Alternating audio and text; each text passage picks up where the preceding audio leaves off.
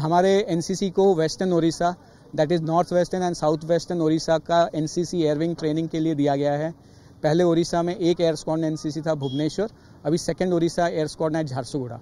We have got about 15 districts I have to train about 2300 C C cadets from 15 different districts या how it happen I am sure you people will be able to give a better feedback to me uh, but I was just here coordinating with the Surya Kiran team and assisting them my bit, being from the Air Force, some safety advisories and crowd control and all.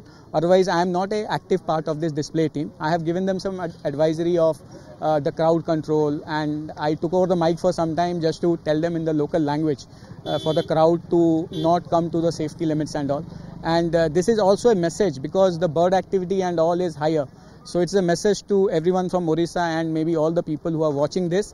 Uh, do not litter और गंदगी आसपास मत फैलाइए क्योंकि गंदगी से birds attract होते हैं और बर्ड एक्टिविटी होने से आपके हवा में जो जहाज़ हैं वो उनके लिए डेंजर है every year lot of aircrafts we lose all over uh, मतलब in Orissa in India and all over the world to bird activities which can be easily avoided if we make our habits slightly better आज तो बहुत भल लागिला आ एमती तो normal civilian हिसाब रे हमें एमती चांस बोथे पाइ न थांतो।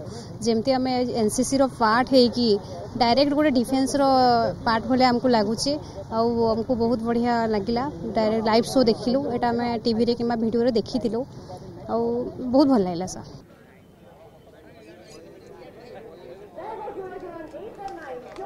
the hidden in 286 in the maneuver. That he